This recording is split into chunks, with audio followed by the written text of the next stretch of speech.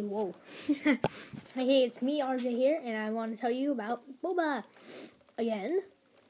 Um, if you're in the area of Rohnert Park or somewhere else, all I know is there's a location in Rohnert Park.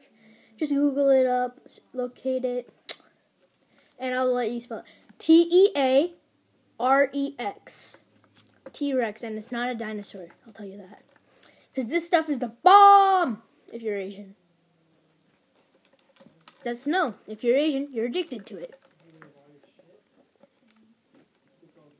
So see ya. Bye.